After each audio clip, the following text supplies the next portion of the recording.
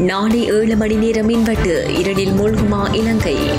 இன்று முதல் அமலுக்கு வரும் திருத்தப்பட்ட சுகாதார வழிகாட்டுதல்கள் மத்திய வங்கி விடுத்த முக்கிய அறிவிப்பு.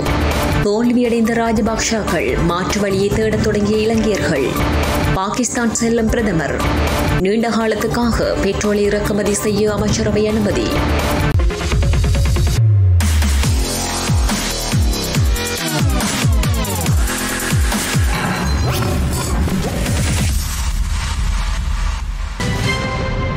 நாடளாவிய ரீதியில் நாளைய தினம் ஏழரை மடத்தியாள மேம்பட்டு அமல்படுத்தப்படவுள்ளதாக பொது பயன்பாடுகள் ஆணைக்குழு அறிவித்துள்ளது. இதன்படி காலை ஐந்து மடத்தியாளம் மற்றும் மாலையில் இரண்டு முப்பது நிமிடங்கள் மேம்பட்டு அமல்படுத்தப்படவுள்ளதாக அறிவிக்கப்பட்டுள்ளது. நாட்டில் மார்ச் ஒன்று முதல் மார்ச் முப்பத்தி ஒன்று வரை அமலுக்கு வரும் வகையில் திருத்தப்பட்ட கோவிட் நைன்டீன் சுகாதார வழிகாட்டுதல்கள் சுகாதார சேவைகள் பணிப்பாளர் நாயகத்தால் வெளியிடப்பட்டுள்ளன. புதிய வழிகாட்டுதல்களின்படி உத்தியோகபூர்வ மற்றும் கூட்டங்களை நடத்துதல் மற்றும் பிற கூட்டங்கள் தொடர்புடைய வழிகாட்டுதல்களுக்கிணங்க அனுமதிக்கப்படும். இதேவேளை ஒரு தனியார் மண்டபத்தில் உள்ளரங்கம் உள்வீடு கூட்டங்களுக்கு மொத்த திறனில் எழுபத்தைந்து சதவீதத்துக்கு மேல் அனுமதிக்கப்பட மாட்டாது.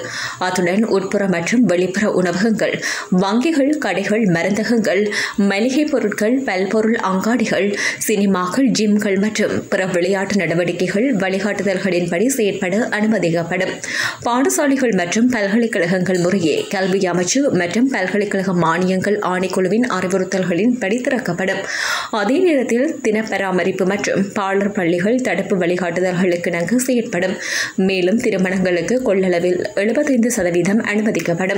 அதே நேரத்தில் வெளிப்புற திருமணங்கள் ஊக்குவிக்கப்படுகின்றன. மேலும் இறுதிச் சடங்குகளுக்கு இனி கடுமையான நடவடிக்கைகள் இருக்காது. இருப்பினும் கோவிட் நைன்டீன் வழிகாட்டுதல்கள் பின்பற்றப்படும் என எதிர்பார்க்கப்படுகின்றது. நாட்டில் சட்டவிரோதமாக வெளிநாட்டு நாணயங்களை மாற்று நிலையங்கள் மற்றும் நபர்கள் தொடர்பான தகவல்களை வழங்குமாறு மத்திய வங்கி பொதுமக்களிடம் கோரிக்கை விடுத்துள்ளது. இலங்கையில் வெளிநாட்டு நாணயங்களை கொள்வனவு செய்தல் விற்பனை செய்தல் மற்றும் மாற்றுதல் என்பன அங்கீகரிக்கப்பட்ட நிறுவனங்களில் மாத்திரமே மேற்கொள்ள முடியும் எனவும் மத்திய வங்கி குறிப்பிட்டுள்ளது. அதே சமயம் ஏதாவது ஒரு நிறுவனம் அல்லது நபர்கள் மத்திய வங்கியின் அனுமதியின்றி வெளிநாட்டு நாணயங்களை மாற்றும் நடவடிக்கையில் ஈடுபடுவார்களாயின் அது சட்டவிரோத செயற்பாடாகும் என மத்திய வங்கி தெரிவித்துள்ளது. மேலும் அவ்வாறான நிலையங்கள் அல்லது நபர்கள் தொடர்பாக வெளிநாட்டு செலவாணி திணைக்களத்தின் பூஜ்ஜியம் ஒன்று ஒன்று இரண்டு மூன்று ஒன்பது எட்டு எட்டு இரண்டு ஏழு பூஜ்ஜியம் ஒன்று ஒன்று இரண்டு நான்கு ஏழு ஏழு மூன்று ஏழு ஐந்து அல்லது பூஜ்ஜியம் ஒன்று ஒன்று இரண்டு மூன்று ஒன்பது எட்டு ஐந்து ஆறு எட்டு என்ற இலக்கங்களுக்கு அழைப்பினை ஏற்படுத்தி அறிவிக்க முடியும் எனவும் மத்திய வங்கி குறிப்பிட்டுள்ளது.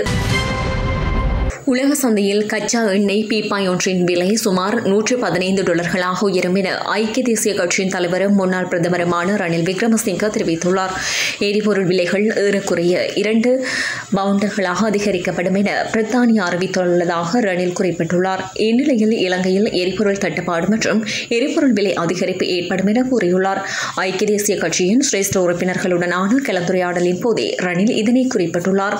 சமகால அரசாங்கத்தின் தோல்வியால் துவண்டுள்ள மக்கள் தற்போது மாற்று வழியை தேடிக் கொண்டிருக்கின்றனர் சர்வதேசத்தின் உதவியுடன் முன்னோக்கி செல்லக்கூடிய ஒரே மாற்று ஐக்கிய தேசிய கட்சிதான் என்பதை மக்கள் புரிந்து கொள்ள வேண்டும் என ரணில் விக்ரமசிங்க தெரிவித்துள்ளார்.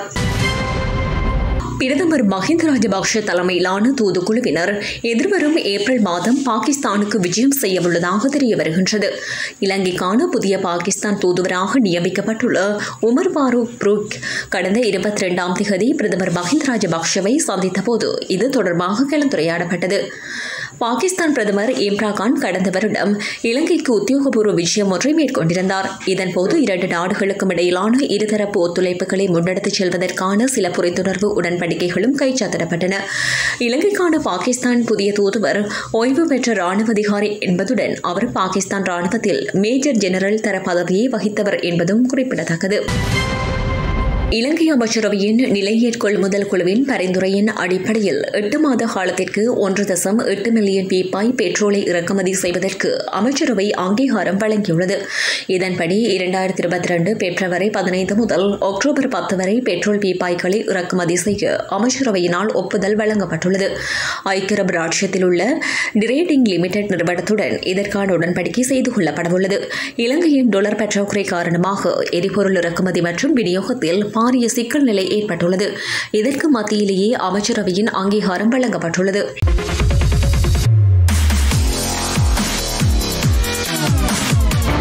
நாளை ஏழு மணி நேரம் மின்வெட்டு இருளில் மூழ்குமா இலங்கை? இன்று முதல் அமலுக்கு வரும் திருத்தப்பட்ட சுகாதார வழிகாட்டுதல்கள் மத்திய வங்கி விடுத்த முக்கிய அறிவிப்பு. தோல்வியடைந்த ராஜபக்ஷாக்கள் மாற்று வழியை தேடத் தொடங்கிய இலங்கையர்கள். பாகிஸ்தான் செல்லும் பிரதமர். நீண்ட காலத்துக்காக பெட்ரோலை இறக்குமதி செய்ய அமைச்சரவை அனுமதி.